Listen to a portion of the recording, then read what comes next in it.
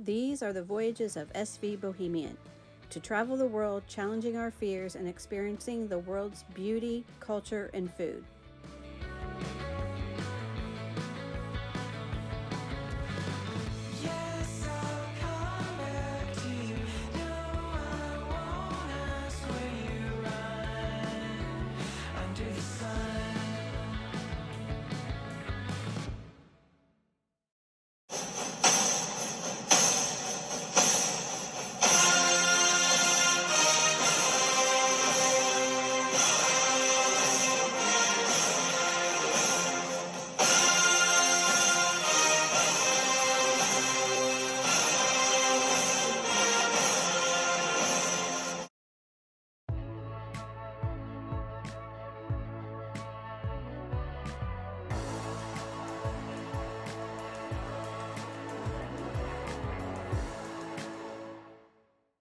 So off to Philly we go to find the best cheesesteak sandwich.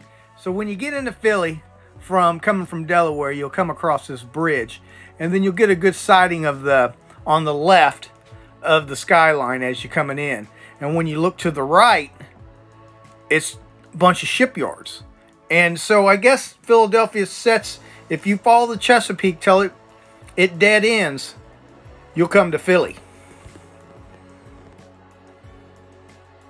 So when I looked down there and I seen those boats, you know what I had to do. I had to go down there and take a look.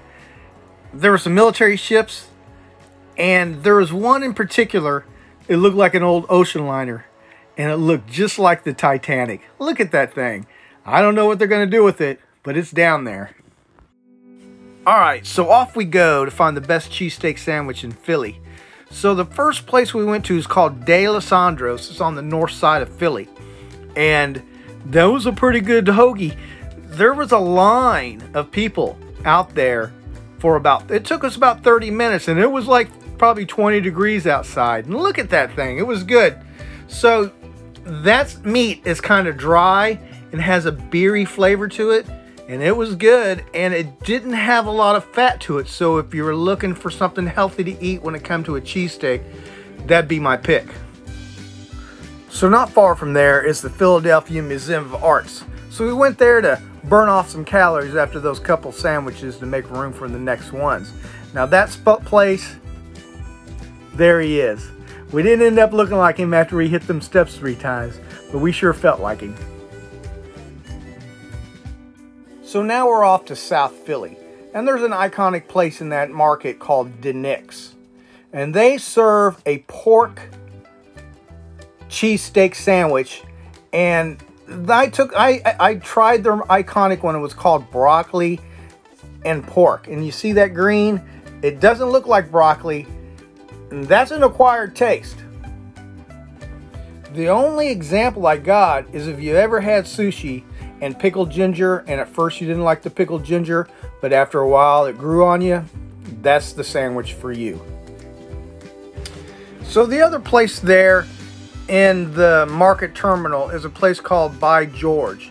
Now they have a more traditional sandwich that everybody is used to where the, the meat is slivered and it's got green peppers and cheese and onions like that. So that's a, if you're looking for a, for a sandwich that you're used to, that'd be the place to go. Now look at those prices on the parking across the street from the Reading Mark Terminal. It's eight bucks, I think, for the first 30 minutes. You miss it by 30 minutes, you miss your 30 minute timeline, you're paying $16. So if you take that ticket in, you can get it validated from one of the places you spend money at. And you'll get a little bit of a discount. I'm not exactly for sure what it was, but you'll get a little bit of a discount. So there's one more place I want to show you. And so let's go take a look at this place. So we're cruising up South Street in South Philly and we're going to a place called Jim's. It's known for having good steak sandwiches. So we, when we got there, the place was closed, and we didn't get to really try out the, we didn't get to try out their sandwich.